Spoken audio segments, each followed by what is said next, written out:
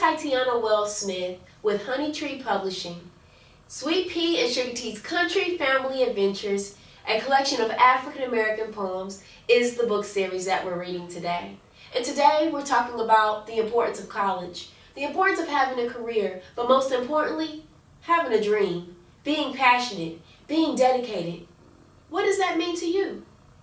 Let's listen to Cousin Peanut Goes to College and let's find out why it's so important to believe in your dreams. Chapter 10 Cousin Peanut Goes to College. When Cousin Peanut was a child, he learned wrong from right. He was taught to show respect, have manners, and be polite. When Cousin was in grade school, he behaved and paid attention. All the way to 12th grade, he made mature decisions. Cousin Peanut's now in college, but he is still the same. He's honest about mistakes and never does he blame. He lives in a campus dorm where the students sleep. He sits in his college class. The front row is his seat. When I visit my cousin Peanut, I learn about his classes. He speaks with ease and expertise, then adjusts his glasses. Cousin raises his hand in class. He answers lecture questions. He presents in front of peers and teaches exciting lessons.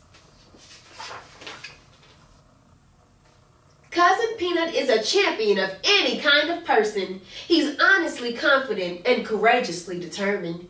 He travels around the globe and learns from every neighbor, speaking the language of the people, eating foods of many flavors.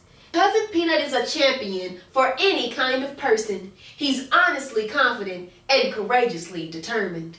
He travels around the globe and learns from every neighbor, speaking the language of the people, eating foods of many flavors. Cousin Peanut earns scholarships. Classes aren't cheap. He says greatness takes passion, dedication, and, of course, a dream. Cousin has a bag of books. The library's a second home. He writes and types with all his might and studies without a groan. The bookshelves are ceiling tall. They stand above our shoulders, waiting to be checked and stored by a new and scholarly owner. Peanut has a group of friends who he describes as brothers. They are leaders of the school. Each year they grow in numbers. The brothers wear white and tan. They stand out from the crowd. They command listening ears and don't need to dress loud. Now when I think of college, I am unafraid. I too will earn scholarships for good conduct marks and grades. Peanut tells me to never quit, even if you lose. Stand tall, give it all. Success is up to you. Cousin Peanut is my mentor. He says you can make a change. Even if you stand alone, don't focus on the fame.